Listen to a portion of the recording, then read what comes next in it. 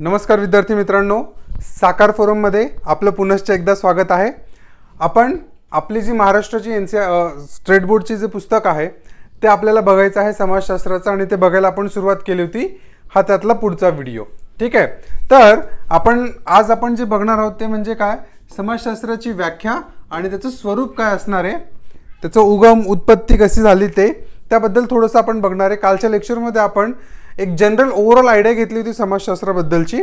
तर आजच्या लेक्चरमध्ये आपण इतर सगळ्या गोष्टींना बघ ब- इतर सगळ्या गोष्टी बघणार आहोत. तर त्यामध्ये सगळ्यात महत्त्वाचं आहे समाज समाजशास्त्र हे समाजाचे शास्त्र असून यामध्ये सामाजिक संबंध आणि मानवी समाजाचा अभ्यास केला जातो.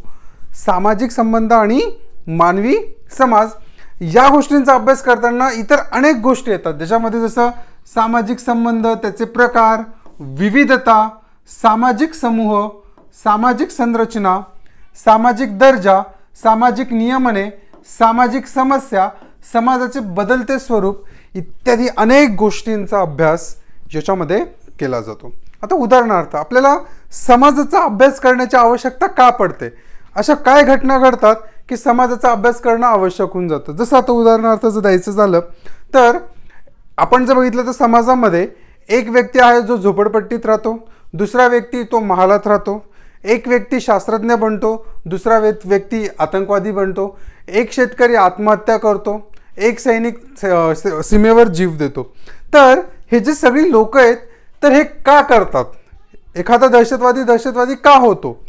ह्या प्रश्न जर सामान्य माणसाला विचारला तर तो कसं उत्तर दिल्याचं?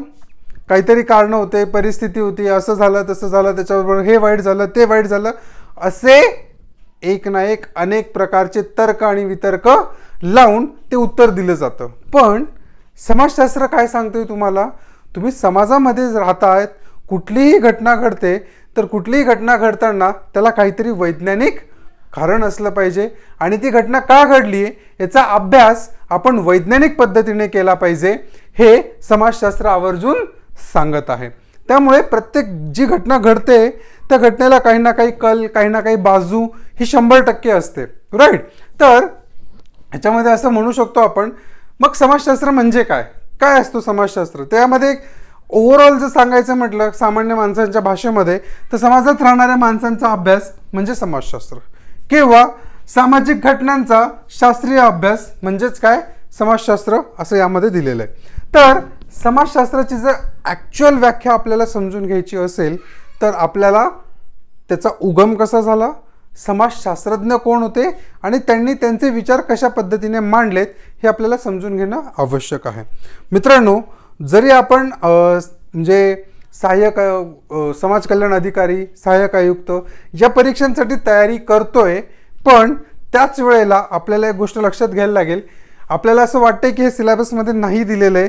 पण मित्रांनो मागचे जे प्रश्न बघितले प्रश्नपत्रिका जर बघितल्या त्यावरून एक लक्षात येतं की आयोगाचा आवाका खूप मोठा आहे. तुम्ही ज्या डबक्यात विचार करतात आयोग त्याच्या खूप पुढे गेलेला आहे. करेक्ट आहे? त्यामुळे ते डबक्यातून बाहेर या. जी दहा पानं दोन पानं पाच पानं नोट्स वाचायची सवय तुम्हाला पडली आहे आणि त्या सवयीतून जे तुम्ही तुमचं नुकसान करून घेत आहेत चार वर्ष झाली पाच वर्ष झाली फक्त परीक्षा देत आहेत आणि कुठल्याही प्रकारचा निकाल तुमच्या हाती येत नाही आहे याला सर्वस्वी जबाबदार फक्त तुम्ही आणि तुम्हीच आहात. दुसरं कोणालाही दोष देऊन उपयोग नाही आहे त्यामुळे थोडीशी मानसिकता बदला आणि त्या विषयाकडे आवाकाक म्हणून बघा आणि त्याच्यामधून तुम्हाला काय एक्झॅक्टली काढता येईल तो विचार तुम्ही करा. करेक्ट आहे? तर जाऊया आपल्या पॉईंटकडे तर सगळ्यात पहिल्यांदा समाजशास्त्र मी काल पण सांगितलं होतं या विषयाचा जो उगम आहे याचं श्रेय किंवा समाजशास्त्राचं जनक असं जर कोणाला म्हटलं जात असेल तर ते कोणाला म्हटलं जातं? समाजशास्त्राचा जनक. महत्त्वाचा कॉन्सेप्ट आहे महत्त्वाचा प्रश्न आहे याच्यावर प्रश्नही विचारला जाऊ शकतो तुम्हाला परीक्षेमध्ये. तर समाजशास्त्राचे जनक आहेत ऑगस्ट कॉम्प्ट मी काल पण तुम्हाला सांगितलं होतं. करेक्ट आहे?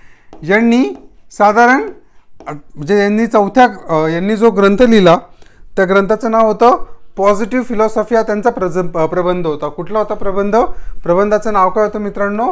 पॉझिटिव्ह फिलॉसॉफी आता याला मराठीत मी सांगू शकत नाही. किंवा सांगूही शकतो असं नाही. पण हा लिहिलाच मुळात त्यांनी इंग्लिशमध्ये होता. त्यामुळे उगाच आपण मराठीत करण्यात काही अर्थ नाही आहे सो पॉझिटिव्ह फिलॉसॉफी हा त्यांचा प्रबंध होता. त्याच्या चौथ्या भागामध्ये कितव्या? त्याच्या चौथ्या भागामध्ये सर्वसाधारणपणे समाजशास्त्र या शब्दाचा उल्लेख केला गेला आणि तिथून समाजशास्त्राच्या अभ्यासाला काय झाले मित्रांनो? व्यवस्थितपणे सुरुवात झाली. ओके मग कधी झाली ही? साधारण अठराशे एकोणचाळीसला असं म्हटलं जातं. अठराशे अडोतीसपासून त्यांनी लिहायला सुरुवात केली होती सदोतीस अडोतीसपासून. पण एकोणचाळीसमध्ये याचा उगम आपल्याला बघायला मिळतो. इज दॅट क्लिअर नक्की? जाऊया पुढे. व्हेरी गुड तुम्हाला जर काही प्रश्न असतील तुमचे काही इश्यूज असतील काही डाऊट्स असतील तुम्हाला तर तुम्ही कमेंट बॉक्समध्ये विचारू शकतात. आणि जर तुम्ही ॲपवर असाल तर तुम्ही स्पेशल जे चॅट सेक्शन आहे त्याच्यामध्ये तुम्ही तुमचे प्रश्न टाकू शकता. तुमच्या प्रत्येक प्रश्नाचं उत्तर दिलं जाईल. आणि हे पण नाही झालं. समजा नाही बघितलं गेलं तर दर शनिवारी आपलं लाईव्ह होणार आहे. तर त्यामध्ये तुम्ही तुमचे प्रश्न डायरेक्ट पण विचारू शकतात. करेक्ट आहे? तर जाऊया पुढे. ओके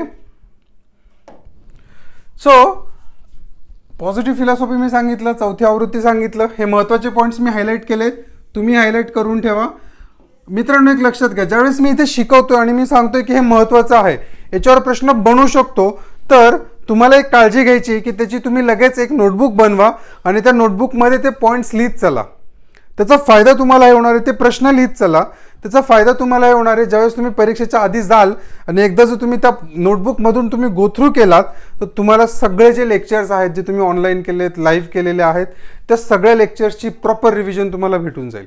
राईट जाऊया पुढे. पुढे जर बघितलं तर सोशोलॉजी है ना? समाजशास्त्र हा जो शब्द आहे करेक्ट आहे? हा दोन शब्दांपासून बनलेला आहे. किती शब्दांपासून? दोन शब्दांपासून. आता इथे पण प्रश्न तुमचे तयार होतील. कसे तयार होतील बघा. पहिला जो शब्द आहे ज्याच्यापासून हा बनलेला आहे तो म्हणजे सोशियस. आणि दुसरा जो शब्द आहे तो म्हणजे काय? लोगोस. करेक्ट आहे?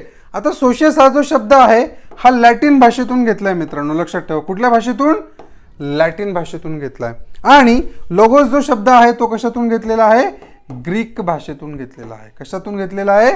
ग्रीक भाषेतून. सोशोस शब्दाचा अर्थ काय होतो? सहकारी? किंवा याला आपण आणखी काय म्हणू शकतो? व्हेरी गुड सहयोगी. काय म्हणू शकतो? सहयोगी. राईट त्यानंतर लोगोस म्हणजे जर आपण बघितलं लोगोस म्हणजे बघितलं तर याला आपण शास्त्र बरोबर आहे? किंवा या ठिकाणी दिलेला आहे अभ्यास. एखाद्या विषयाचा अभ्यास करणे म्हणजे त्याला ग्रीक भाषेमध्ये काय म्हटलं जातं?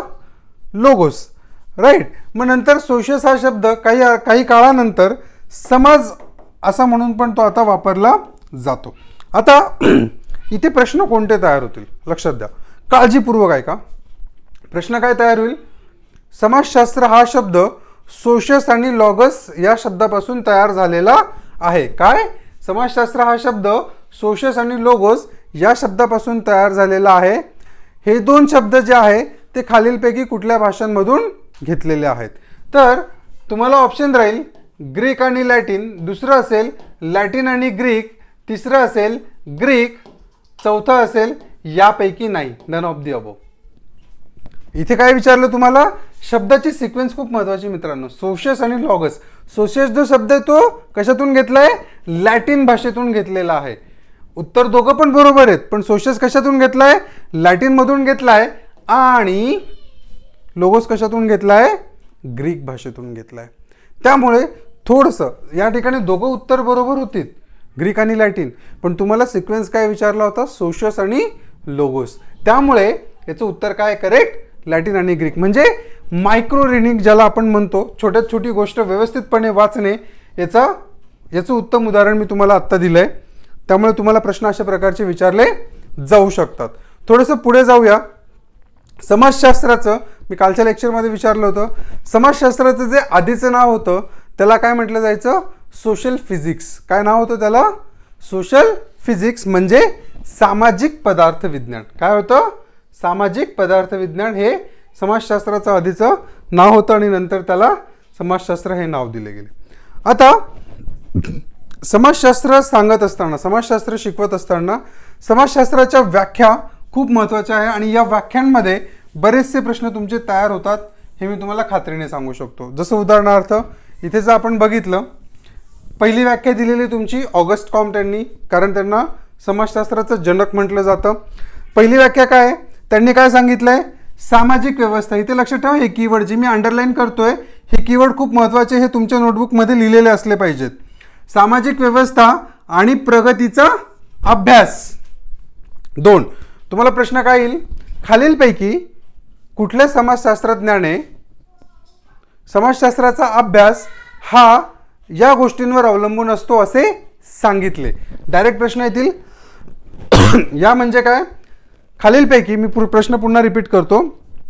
खालीलपैकी कोणत्या शास्त्रज्ञाने समाजशास्त्राचा अभ्यास हा सामाजिक व्यवस्था आणि प्रगतीचा अभ्यास सामाजिक व्यवस्था आणि त्यांच्या प्रगतीचा अभ्यास या गोष्टींवर अवलंबून असतो असे सांगितले. आणि तुम्हाला ऑप्शनमध्ये असेल ऑगस्ट कॉम जॉर्ज सिमेल त्यानंतर तुम्ही म्हणू शकतात Redman and Mori William Scott असे कोणाचंही नाव घेत म्हणजे टाकता येतील त्याच्यामध्ये. तर मग करेक्ट आन्सर काय असणार आहे तुम्हाला? ऑगस्ट कॉम्ट किंवा दुसऱ्या पद्धतीने हाच प्रश्न कसा विचारला जाईल? ते लक्षात द्या. ऑगस्ट कॉम्ट यांनी समाजशास्त्राचा अभ्यास करताना कोणत्या गोष्टींना महत्त्व दिले? काय? ऑगस्ट कॉम्ट यांनी समाजशास्त्राचा अभ्यास करताना खालीलपैकी कोणत्या गोष्टींना महत्त्व दिले? तर तुम्हाला याचे ऑप्शन्स दिले जातील. पहिलं असेल सामाजिक व्यवस्था. दुसरं असेल प्रगती किंवा प्रगतीचा अभ्यास. तिसरं असेल आंतरक्रिया करेक्ट आहे? आणि याला परत ऑप्शन दिलेले असतील. पहिलं option one and two only second option असेल टू अँड थ्री ओनली तिसरं ऑप्शन असेल थ्री ओनली चौथं ऑप्शन असेल one two and three right म्हणजे काय? बघा तीच डेफिनेशन आहे छोटीशी डेफिनेशन आहे पण खूप महत्त्वाची आहे. ही लक्षात घ्या. त्यामुळे याचं करेक्ट आन्सर काय आहे? सामाजिक आणि प्रगतीचा अभ्यास. सो ऑगस्ट कॉमची डेफिनेशन लक्षात आली सगळ्यांच्या? ऑगस्ट कॉम त्यांनी काय सांगितलं? समाजशास्त्र म्हणजे काय? सामाजिक व्यवस्था आणि प्रगतीचा अभ्यास करणारे शास्त्र म्हणजे काय? तुम्ही म्हणू शकता समाजशास्त्र. येते लक्षात? नक्की. पुढची डेफिनेशन दिलेली आहे जॉर्ज सिमेल यांनी. कोणी दिलेली आहे? George Simmel. जॉर्ज सिमेल काय सांगतात? सेम दोघं ठिकाणी तसेच प्रश्न तयार होतील. जॉर्ज सिमेल सांगतात मानवी आंतरसंबंधाच्या स्वरूपाच्या अंदर अध्ययन. मानवी अंतरसंबंध म्हणजे काय? एका माणसाचा दुसऱ्या माणसाशी असलेला संबंध. जसं आता एक मुलगी असते. एक मुलगी किती प्रकारचे रोल प्ले करते? ती आई असते बहीण असते पत्नी असते मैत्रीण असते भाऊ त्यानंतर आजी असते काकू असते मावशी असते.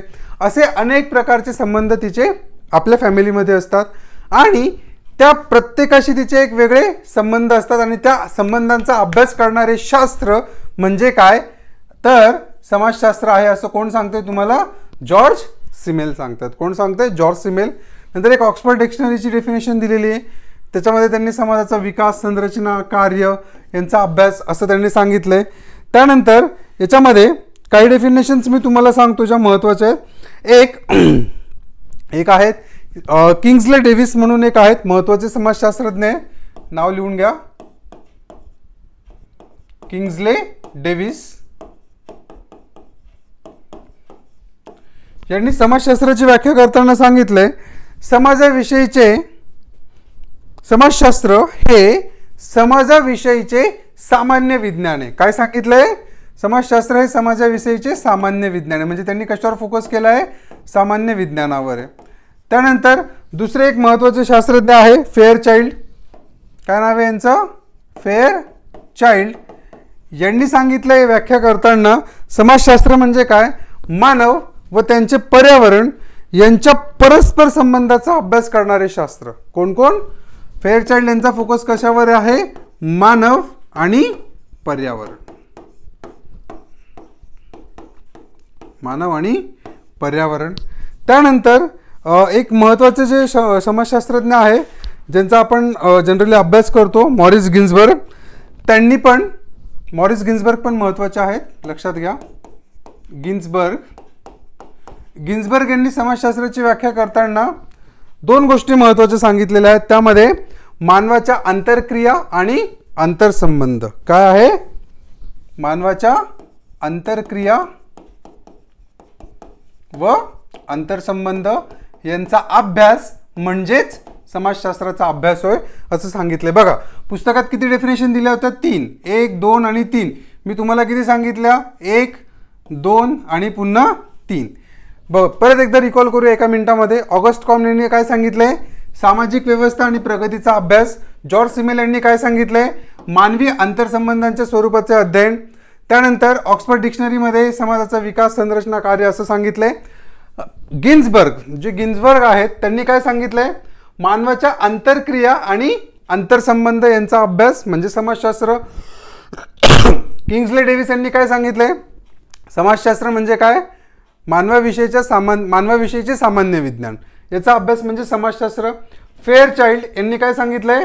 मानव आणि पर्यावरण यांच्यातला जो संबंध आहे याचा जो अभ्यास केला जातो त्याला आपण काय म्हणतो मित्रांनो? समाजशास्त्र म्हणतो.